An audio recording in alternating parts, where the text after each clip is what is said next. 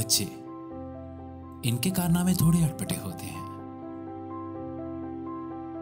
और इनके तरीके सारी दुनिया से निराले। पर इन्हीं तरीकों से वो कुछ अलग कर जाते हैं।